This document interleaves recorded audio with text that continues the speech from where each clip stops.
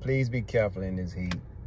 So I was with a um, a client, and we were doing a ins well, there was an inspector because the client is putting the house under contract, and the inspector he was outside in the heat and it was hot. So me and the client was inside the house and, the, and it was, man, they had the AC blaring. It was kind of cold in the house, but outside you got this Texas heat like 100 degrees.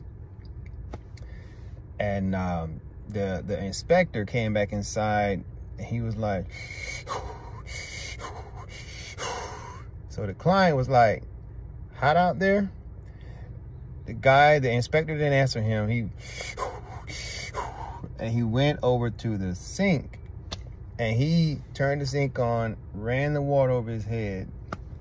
And after he dried himself with a towel, he finally answered the client and was like, yes, it's hot out there. And dude, he still had to handle the roof. But thankfully, I, I was telling a story about how I showed a house in, um, I think it was Conroe.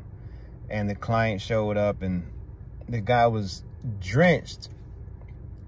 Like his head was like like somebody poured a bucket of water on him. I'm like, dude, what what do you do? He like, you know, I I um I'm an insurance adjuster and I get on the roof and he was like, you know, down here it's like 100 degrees, but on that roof it's 130 degrees. So I told that I was just sharing about that and the inspector was like, well, that's why I got this. And he pulled out a um a bag and he he what he had inside the bag was a drone and the drone's a little bit bigger than than my hand and that's what he so thankfully he didn't have to get on the roof but just being outside in that heat man it ain't no punk. You you you, you really please hydrate. Try to do your work in an early morning if you can. And i know the money's good. Uh take care of yourself please.